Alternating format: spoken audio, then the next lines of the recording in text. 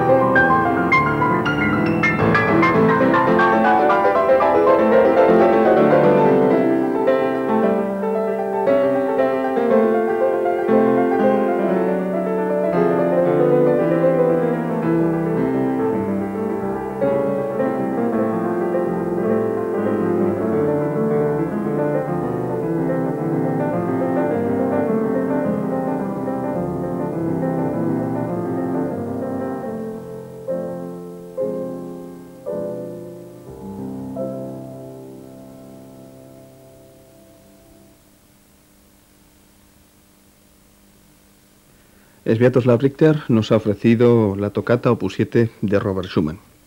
Continuamos con más música de Robert Schumann. Seguidamente vamos a ofrecerles una página compuesta en el año 1839. Se trata de la pieza floral, opus 19.